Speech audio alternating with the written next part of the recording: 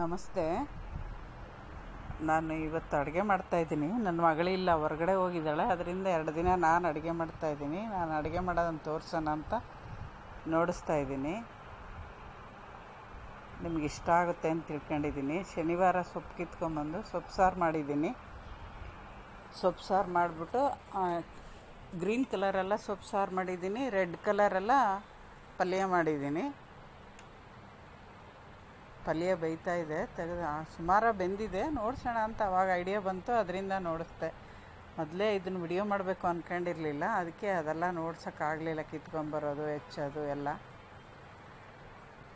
ಅದಾದಮೇಲೆ ಅಯ್ಯೋ, ಮಾಡ್ತಾ ಇದ್ದೀನಲ್ಲ ತೋರಿಸೋಣ ಅಂತ ಐಡಿಯಾ ಬಂದು ಮಾಡಿದ ಮೇಲೆ ತೋರಿಸ್ತಾ ಇದ್ದೀನಿ ಅದು ಅಲ್ಲದೆ ನನ್ನ ಮಗಳಿದ್ರೆ ನಾನು ಅಡುಗೆ ಮಾಡಲ್ಲ. ಅವಳೇ ಅಡುಗೆ ಮಾಡೋದು. ಅವಳು ಇಲ್ವಲ್ಲ, ಅದರಿಂದ ಮಾಡ್ತಾ ಇದ್ದೀನಲ್ಲ ಹಂಗೆ ತೋರಿಸೋಣ ಅಂತ ಮಾಡ್ತಾ ಇದ್ದೀನಿ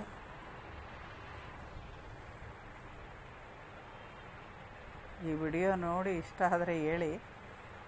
ಮುಂದೆ ಅಡುಗೆ ಅಂತೂ ಮಾಡಲ್ಲ, ಮಾಡ್ದೆ ಮಾತ್ರ ತೋರಿಸ್ತೀನಿ.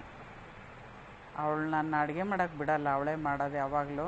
ನಾನು ಮೇಗಳ ಕೆಲಸ, ಆಮೇಲೆ ಫ್ಯಾನ್ಸಿ ಸ್ಟೋರ್ ಇದೆ, ಅಲ್ಲಿ ಹೋಗೋದು, ಇದೇ ಆಗೋಗುತ್ತೆ ನಂದು. ನೋಡಿ ಸೊಪ್ಪು ಸಾರು ಇಷ್ಟು ಮಾಡಿಟ್ಟಿದ್ದೀನಿ. ರಾತ್ರಿ ಮುದ್ದೆಗೆ ಅದಲ್ಲದೆ ಸಾಯಂಕಾಲ, ಶನಿವಾರ ಸಾಯಂಕಾಲ ಬದನೆಕಾಯಿಗೆಲ್ಲ ಮಸಾಲೆ ರೆಡಿ ಮಾಡಿದ್ದೀನಿ.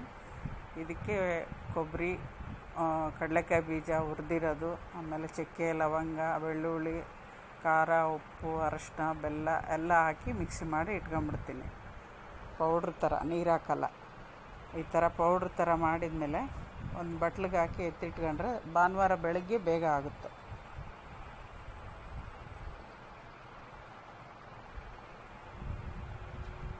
ಇದ್ರ ಜೊತೆಗೆ ಬದ್, ಬದನೆಕಾಯಿ ಮಾಡಿ ತೋರಿಸ್ತೀನಿ. ಅದ್ರ ಜೊತೆಗೆ ಚಪಾತಿ, ರೊಟ್ಟಿಗೆಲ್ಲ ಚೆನ್ನಾಗಿರುತ್ತೆ. ಎಣ್ಣೆ ಒಬ್ಬೊಬ್ಬರು ಒಂದೊಂದು ಥರ ಮಾಡ್ತಾರೆ. ಯೂಟ್ಯೂಬಲ್ಲಿ ನೋಡಿದ್ದೀನಿ. ನಾನು ಮರ, ಮಾಡೋದು ತೋರಿಸೋಣ ಅಂತ ಮಾಡ್ತಾಯಿದ್ದೀನಿ ಪೌಡ್ರು ನೋಡಿ, ಇದೆಲ್ಲ ರೆಡಿ ಆಯಿತು ಪೌಡ್ರು. ಬಟ್ಲಿಗೆ ಹಾಕಿಟ್ಟಿದ್ದೀನಿ. ಬದನೆಕಾಯಿ ಹೆಚ್ಕೊತಾ ಇದ್ದೀನಿ. ಇದು ಭಾನುವಾರ ಬೆಳಗ್ಗೆ. ಬೆಳಗ್ಗೆ ಟಿಫನ್ ಆಯಿತು ಅವಲಕ್ಕಿ, ಅದಾದಮೇಲೆ ಅಡುಗೆ ಮಾಡ್ತಾಯಿದ್ದೀನಿ ಅದು ಎರಡು ಈರುಳ್ಳಿ ಎರಡು ಈರುಳ್ಳಿ ಹಚ್ಚಿಟ್ಕೊಂಡಿದ್ದೀನಿ ಇವಾಗ ಬದನೆಕಾಯಿ ಹಚ್ಬಿಟ್ಟು ನಾಲ್ಕು ನಾಲ್ಕು ಹೋಳು ಕೆಳಗಡೆ ಹೋಳಾಗ್ದಂಗೆ ನಾಲ್ಕು ಹೋಳು ಒಂದೇ ಕಾಯಲ್ಲಿ ನಾಲ್ಕು ಹೋಳು ಆಗಂಗೆ ಮಾಡಬೇಕು. ಕೆಳಗಡೆ ಓಪನ್ ಆಗಬಾರ್ದು. ಆ ಥರ ಮಾಡಬೇಕು ಎಣ್ಣೆ ಬದನೆಕಾಯಿಗೆ. ಈ ಥರ ಮಾಡಿ ಇಟ್ಕೊಂಡು ನೀರಲ್ಲಿ ಹಾಕೋಬೇಕು, ಎಲ್ಲನೂ.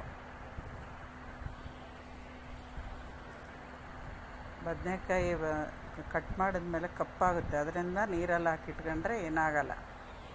ಅದಕ್ಕೆ ಬದನೆಕಾಯಿ ಯಾವಾಗಲೂ ಕಟ್ ಮಾಡಿದ್ಮೇಲೆ ನೀರಿಗೆ ಹಾಕ್ಬಿಡ್ಬೇಕು.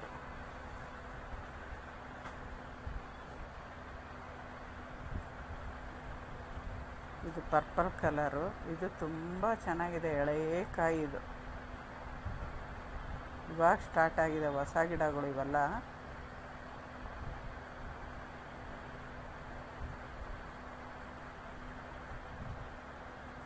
ಈ ಥರ ನಾಲ್ಕು ಹೋಲ್ ಮಾಡಿ ಮಾಡಿ ಎಲ್ಲ ಹೆಚ್ಚಿಟ್ಕೊಂಡಿದ್ದೀನಿ.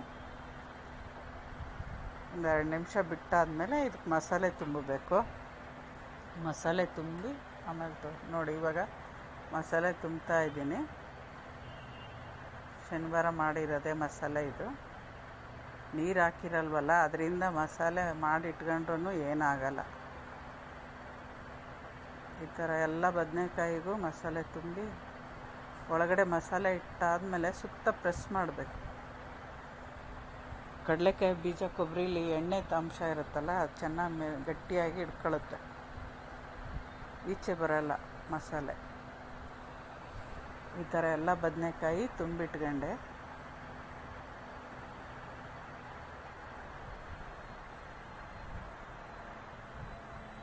ನೋಡಿ, ಇಷ್ಟು ಬದನೆಕಾಯಿ ಆಗಿದೆ.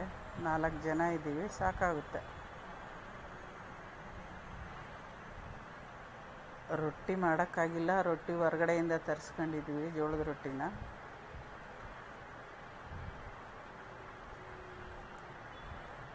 ಈ ಥರ ಎಲ್ಲ ಮಾಡಿಟ್ಕೊಂಡು ಇವಾಗ ಒಗ್ಗರಣೆ ಹಾಕ್ಕೋಬೇಕು.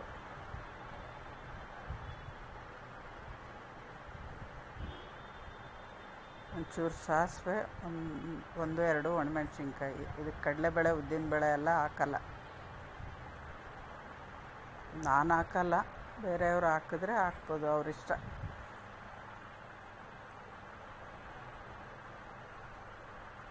ಎಣ್ಣೆ ಬದನೆಕಾಯಿಗೆ ಒಂಚೂರು ಎಣ್ಣೆ ಹೆಚ್ಚಿಗೆ ಹಾಕಿದ್ರೇ ಚೆನ್ನಾಗಿರೋದು. ಇದೊಂದು ಮೂರು ಟೇಬಲ್ ಸ್ಪೂನ್ ಅಷ್ಟು ಎಣ್ಣೆ ಹಾಕಿದ್ದೀನಿ.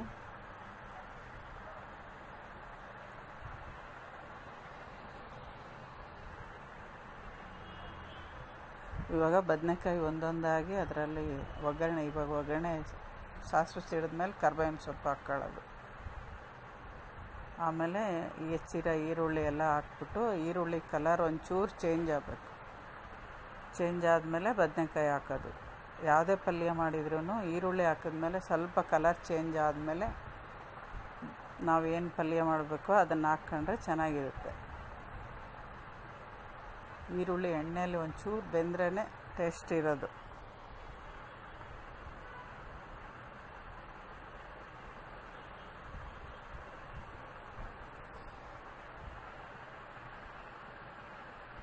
ನೋಡಿ, ಇವಾಗ ಈರುಳ್ಳಿ ಸ್ವಲ್ಪ ಕಲರ್ ಚೇಂಜ್ ಆಯಿತು. ಈ ಥರ ಇಷ್ಟ ಆದರೆ ಸಾಕು. ಆಮೇಲೆ ಬದನೆಕಾಯಿ ಒಂದೊಂದಾಗಿ ಜೋಡಿಸ್ಕೊಳ್ಳೋದು ಎಲ್ಲನೂ. ತುಂಬಿರೋ ಬದನೆಕಾಯಿ ಎಲ್ಲ ಇರುತ್ತಲ್ಲ, ಅದನ್ನೆಲ್ಲ ಜೋಡಿಸ್ಬಿಟ್ಟು ಎಣ್ಣೆಲೇ ಸ್ವಲ್ಪ ಹೊತ್ತು ಫ್ರೈ ಮಾಡಬೇಕು.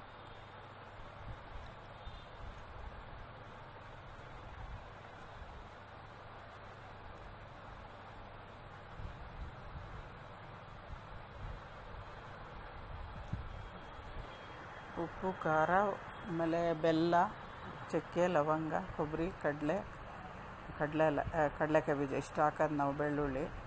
ಹುಣ್ಸೆಹಣ್ಣು ಹಾಕಲ್ಲ ನಾವು. ಇವಾಗ ನೋಡಿ ಎಣ್ಣೆಲೆ ಸ್ವಲ್ಪ ಹೊತ್ತು ಬೇಯ್ತಲ್ವ? ಅದನ್ನು ಸ್ವಲ್ಪ ಮೇಲೆ ಕೆಳಗಡೆ ಮಾಡಿ ಹೋಳುಗಳು ಹೊಡಿದಂಗೆ ನಿಧಾನವಾಗಿ ಮಾಡ್ಕೋಬೇಕು.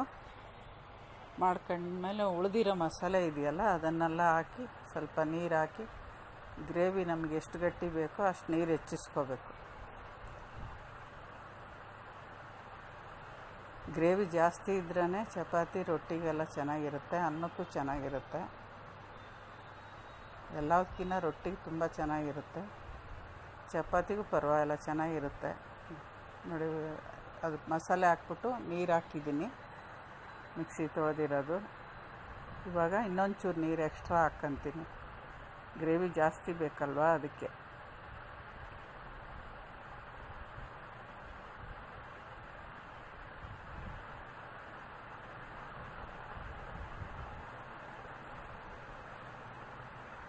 ಅದಷ್ಟು ನೀರು. ನೀರು ಜಾಸ್ತಿ ಆಯಿತು ಅಂದ್ಕೋಬೋದು ನೀವು. ಆ ನೀರು ಜಾಸ್ತಿ ಆಗಲ್ಲ. ಬದನೆಕಾಯಿ ಬೇಯೋಷ್ಟೊತ್ತಿಗೆ ಸರಿ ಹೋಗುತ್ತೆ. ಮತ್ತು ಇದಕ್ಕೇನು ನೀರು ಹಾಕೋ ಅವಶ್ಯಕತೆ ಇರಲ್ಲ. ಆ ಬೇಯೋಷ್ಟೊತ್ತಿಗೆ ಕರೆಕ್ಟಾಗಿ ಆಗುತ್ತೆ ಗ್ರೇವಿ. ಇದು ಅಕ್ಕಿ ನೋಡಿ, ಯಾವ ಪಾತ್ರೆಯಲ್ಲೇ ಅನ್ನ ಮಾಡಲಿ, ಅಳತೆ ಮಾಡೋ ಕೆಲಸ ಇರಲ್ಲ. ಅಕ್ಕಿ ತೊಳೆದ್ಬಿಟ್ಟು ಯಾವ ಪಾತ್ರೆ ಮಾಡ್ತೀವೋ ಅದರಲ್ಲಿ ಅಕ್ಕಿ ಸಮ ಮಾಡ್ಕೊಂಡಾದ್ಮೇಲೆ ಆ ಥರ ಎರಡು ಇಂಚು ನೀರು ಇಟ್ಬಿಟ್ರೆ ಅನ್ನ ಕರೆಕ್ಟಾಗಿ ಆಗುತ್ತೆ. ಜಾಸ್ತಿನೂ ಆಗಲ್ಲ, ಕಮ್ಮಿನೂ ಆಗಲ್ಲ. ನಾವು ಯಾವಾಗಲೂ ಹಿಂಗೆ ಮಾಡೋದು. ಅಳತೆ ಗಿಳತೆ ಮಾಡೋಕ್ಕೆ ಹೋಗಲ್ಲ. ಇಲ್ಲಿ ನೋಡಿ ಬದನೆಕಾಯಿ ಇವಾಗ. ಬೆಂದಿದೆ ಆಗಲೇ, ಗ್ರೇವಿನೂ ಗಟ್ಟಿ ಆಗ್ತಾ ಇದೆ.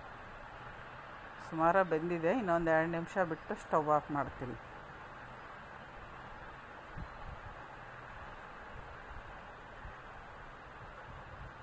ಇನ್ನೊಂದು ಎರಡು ನಿಮಿಷ ಬೆಂದರೆ ಸಾಕು. ಕರೆಕ್ಟಾಗಿ ಆಗುತ್ತೆ. ಎಣ್ಣೆ ಎಲ್ಲ ಈಚೆ ಬಿಟ್ಕೊಂಬಂದಿದೆ ನೋಡಿ, ಆ ಥರ ಬರಬೇಕು. ಯಾವುದೇ ಪಲ್ಯ ಆಗಲಿ, ಹಾಕಿರೋ ಎಣ್ಣೆ ಬೆಂದಿದೆ ಅಂದರೆ ಮೇಲೆ ಬರುತ್ತೆ.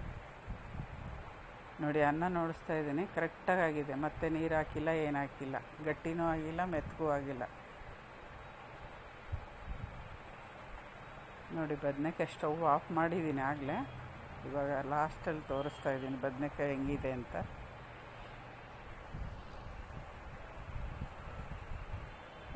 ನೋಡಿ, ಇಷ್ಟು ಗಟ್ಟಿಯಾಗಿದೆ ಇಷ್ಟು ಗಟ್ಟಿ ಇದ್ದರೆ ಸಾಕು.